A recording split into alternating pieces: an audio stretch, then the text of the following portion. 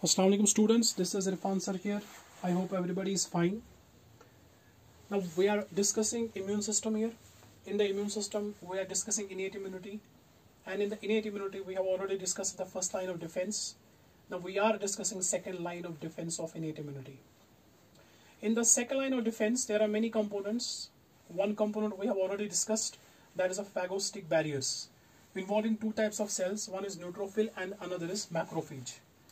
Now the macrophage being the main player in the field of phagocytosis, the highest power of phagocytosis lies with the macrophage. We already know that. I hope you have a you have a complete eye on the facts related with phagocytic barriers as neutrophils and the macrophages. Now today we are going to discuss one of the important topics of the immune system that is action of neutrophil and macrophage and along with this we will discuss very important topic that is inflammation. Very important topic. Now, students, uh, once a pathogen or infectious agent breaches the first line of defense, now it will enter into our body. Now, the pathogen or the bacteria is present inside the body. Once inside the body, it will damage normal cells of the body.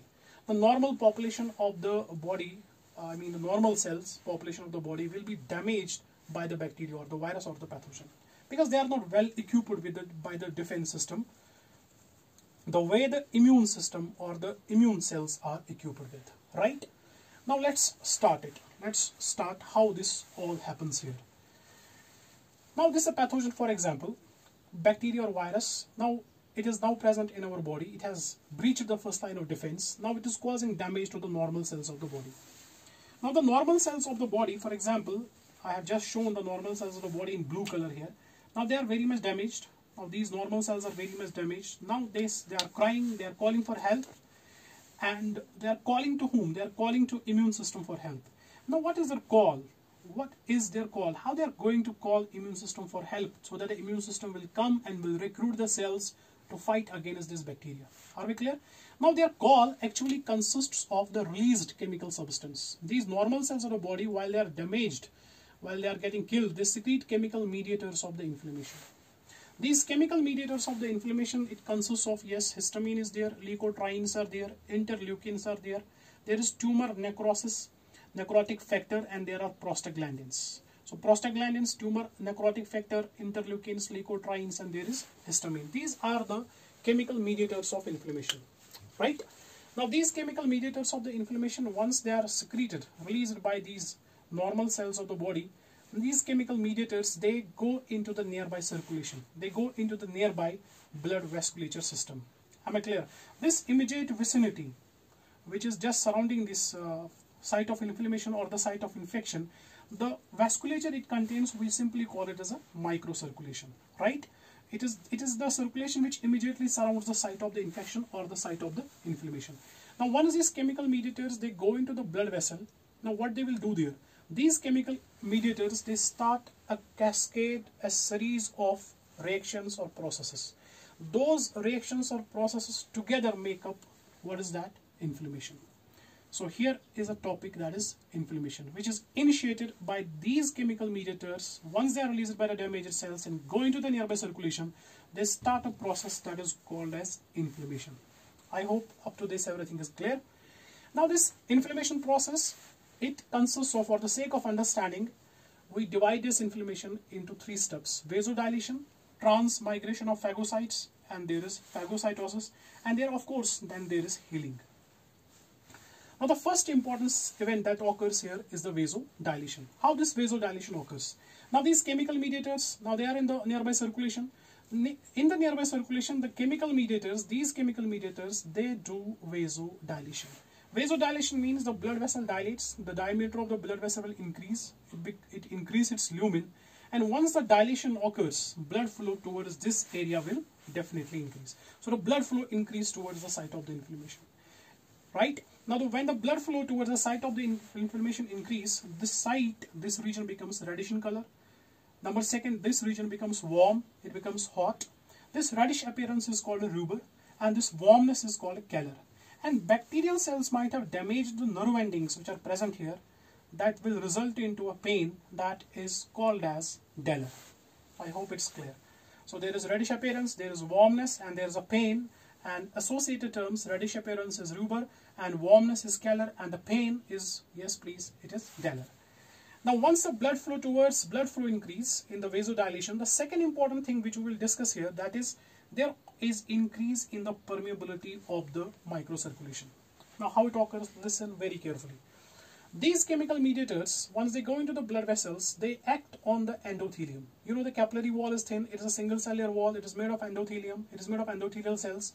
These chemical mediators, they act on the endothelial cells and these endothelial cells, they shrink, they start contracting. Once they start contracting, first they are tightly packed, you can see it here. Once they start contracting, the gaps now are created between the cells. These gaps are called interendothelial gaps. I hope it's clear. It's again in response to these chemical mediators released by the damaged cells. Right? This was a call for help. Right? Now what, what happens here? Permeability increase, interendothelial gaps are formed. Now through these inter and through these interendothelial gaps, what will happen? There is a blood present in the capillaries. The plasma will start coming out of the blood vessels and start accumulating at the site of the inflammation. Protein-rich fluid will come out, of, come out of the vasculature, come out of the blood capillary system and start accumulating at the site of the inflammation. So very, uh, it's very uh, you know important to understand here. Once the fluid will start accumulating here, it will cause definitely a sort of a swelling here. And this swelling, the area, the site becomes swollen. This swelling is called a tumor or it is called as edema. Now listen very carefully. Rubor, calor, tumor and what is this? dolor. These are the four important signs or hallmarks of the inflammation. If you find on in the body anywhere these four happening, it means there is inflammation going on. Reddish appearance, rubor, warmness, scalar, swelling is tumor or edema, and there's a pain that is called as dolor. So these are the four important signs of what? Inflammation. I hope it's clear up to this. Now before I will move further, let's understand here how the normal blood flow occurs. How blood normally flows. Listen very carefully. We know in the blood there are three primary cells. There are WBCs, there are RBCs, and there is, yes please, there are platelets. WBCs, RBCs and platelets. And of course, there is a fluid part that is plasma. Now the large cell, that is a WBC, it is, a, it is larger than RBC and then the platelet. It flows centrally. It occupies a central position in the flow of the blood because it is large. It will push the small cells towards periphery. Now next to the WBC, what is there? There is RBC. And next to it, at towards periphery, there is platelet. So central, centrally occupied, occup uh, centrally occupying position is yes, occupied by what? It is WBC centrally occupied centrally occupied is WBC. Now next to WBC there are RBC and next to RBC towards periphery there are platelets. So WBCs occupy the central position in the flow of the blood. I hope it's clear. Listen very very carefully. Now towards the extreme periphery there is a plasma. There is fluid part of the blood. There is a plasmatic region. There is a plasmatic zone. This black I have shown here, right? This can you can call it cell-free zone because there are no cells. There is only a fluid part and that is a plasma. I hope it's clear. Now let's understand. Very important topic, very important concept here. Listen very carefully. Try to understand here. Now when the blood flow towards the capillary increase, right? Now the more blood flow is in the capillary. Got it? Now with what's happening to this blood? Fluid part of the blood is coming out from the blood capillary. Plasma is coming out from the blood capillary and start accumulating here. So the there is a so the blood is going so the more blood is going in and less blood is coming out. So it is fast to go in and slow to come out. Why? Because once uh, initially the more blood is going towards this, right? Now the plasma, now the protein rich fluid is coming out from the capillary. So it means the blood which is leaving this capillary, it will be less and it will be slow. Are we clear?